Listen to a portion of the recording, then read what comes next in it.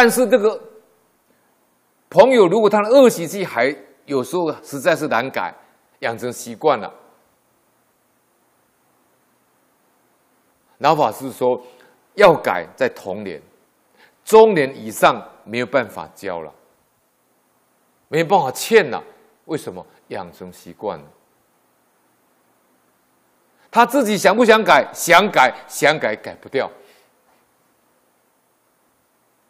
恶习气难断了，是不容易啊，真的不容易。但是呢，智慧开了就容易，看得破就放得下。啊，没有能力克服自己的习气是凡夫。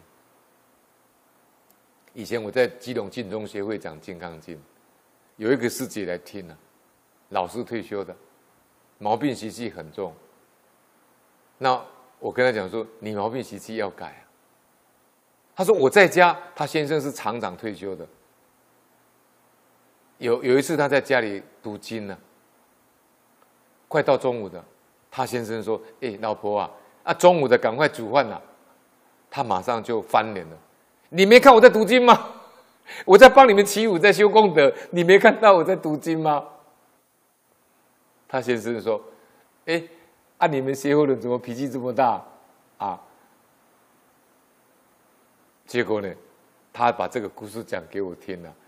我说：“你先生是你的护法，他比你早觉悟。”他说：“他哪里有觉悟？他佛也不念经也不读，他哪里有觉悟？”我说：“你错了。”他是你的护法，信不信由你。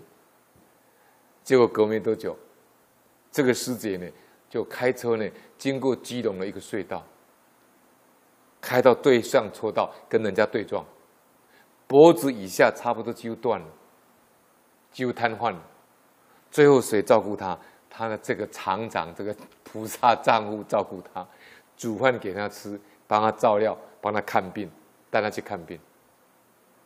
后来他再来找我，我说是不是他是你的菩萨，他是你的护法，就是习气难改。他怎么跟我讲？他先叫他改脾气。他说我活到七十几岁了，我妈妈爸爸都不能够叫我改，你凭什么叫我改？习气难断了。所以这怎么归过？这怎么归过？他也是学佛了，他也在读《金刚经》呢，《金刚经》不是断你生性吗？对不对？《金刚经》不是叫你没有偶像、人像、众生像、寿者像吗？他这么着相，他读《金刚经》读一万遍也没用啊！啊，再来，那法师说：闻过能改，有勇气、有决心、有毅力，克服自己的习气，这个人不是凡人。我们在历史上看到，无论是世法是佛法，有大成就的人，多半是这种人。叫克己复礼，圣贤君子，在佛法里是菩萨，是活菩萨。